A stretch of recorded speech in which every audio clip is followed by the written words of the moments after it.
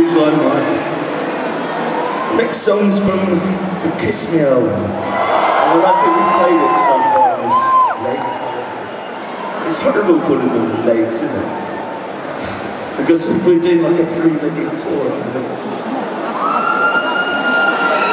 there's a.